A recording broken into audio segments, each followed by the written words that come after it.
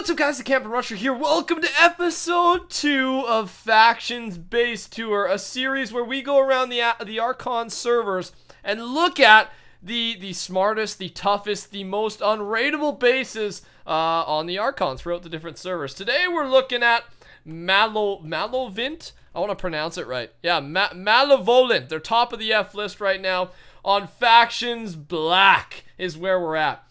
Uh, so the comment is from It's Absorbs. I told you guys last last video to leave comments uh, for your applications to be involved in this series so your base can be showcased and you could be featured on the video.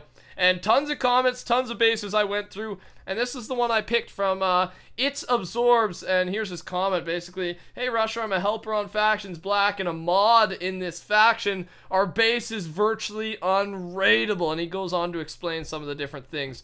Uh, but we're going to take a look at it, get the stories behind this base, and, and just kick some butt today with this video. Thank you for the support on last video. Touch that like button if you're enjoying this series. Seriously, do it right now quickly. Boom! And leave a comment so you can apply for the next video and be featured in the next video.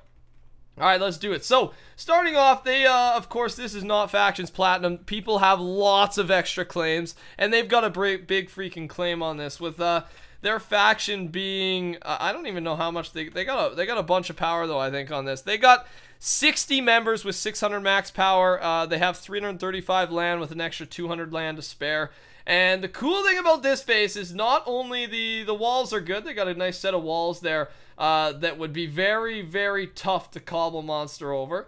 Uh, but they've got this big gap here that, of course, if they don't get the Cobble Monster, shooting the Wither is going to be virtually impossible because it's so far. Uh, plus, getting over here in the first place would be impossible. And they've also, the thing I like, if they, they have two bases, and we're going to head inside, they've got one base there, and then they've got, like, their vault, their, their beautiful stuff down here. And, of course, I do have permission to show this stuff off, and we're going to get in a call with them later so we can get a better detailed analysis.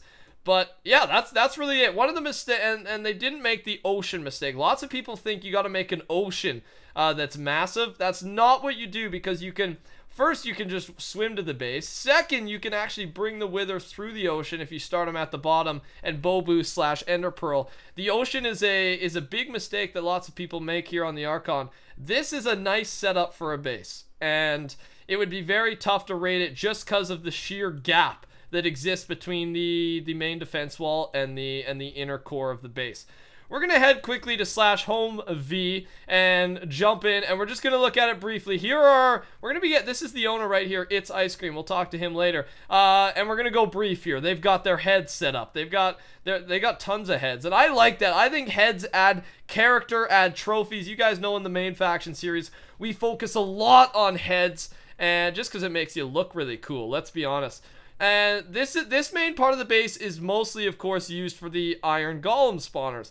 One thing I like is the Iron Golem spawners are not far from the, the work area, I'll call it. And what I mean by that, let me go into speed 1 here so I can slow down, is say you're over here gearing up, you're still able, actually down here is a little different, but because it's not very wide, if you're over here doing whatever, brewing potions, you're activating some of the golems, so you don't even have to be AFK and you're activating them all. Of course, if you want AFK overnight, they're ready to go. They've got their AFK thing set up here, and it looks like it reaches to basically all the rows. I think you can get every single spawner from up here. And they've got a lot of them. Of course, we are going to do a base calculation. I think last episode the base was worth around 20, 29 million. So we'll see if this base beats out the last base value-wise.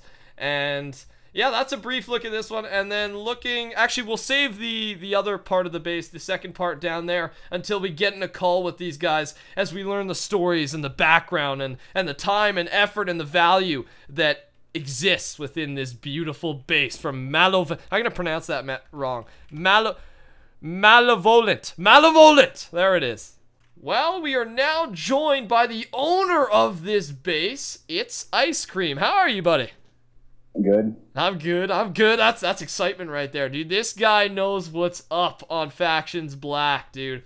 I'm glad to uh, I'm glad to get to know you. Hello, and thank you for letting me tour your base. I'm gonna get right into the questions here, and we're gonna get the backstory behind this base and reasons for this, reasons for that. First off, I'm heading down. You're at the the bottom vault right now, right? Yeah. Yes, there you are. So what what is the idea of having like the because that's one of the most unique things about this base. You have like a, a, a space between the the bottom vault here and the top part. What's what's your idea behind that? Oh, just because like we've been TPUs before, so if people TPU the bottom part, it doesn't really matter because they can't get chests.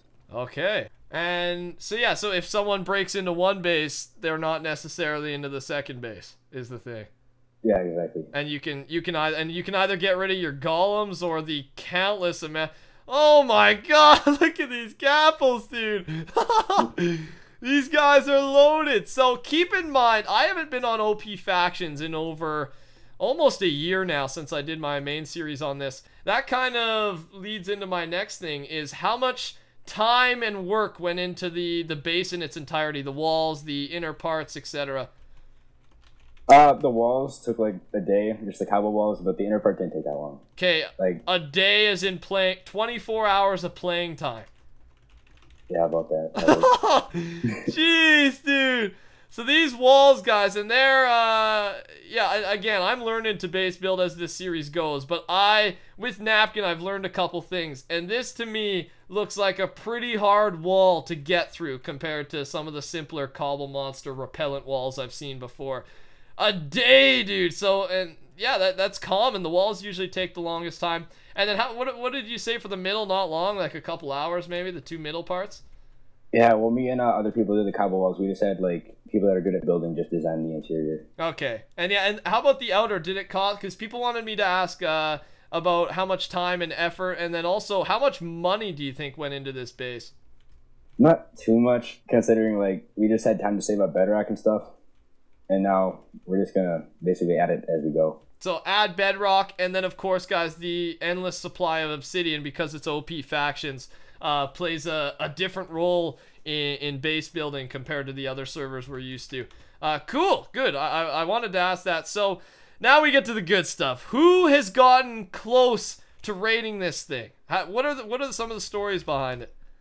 Uh, the closest person that was raiding this was actually a mod that like I don't know, kind of uh, drifted away from us and like betrayed because he was uh, he was asking other, other people in the faction. They were like, "Oh yeah, we'll betray," and then they were like, "All right, and it was perfect timing because uh, I was in school and I got a scam message saying you might not want to hear this, but right now is the time that they're trying to betray you. Oh. And I was like, oh, this is wonderful.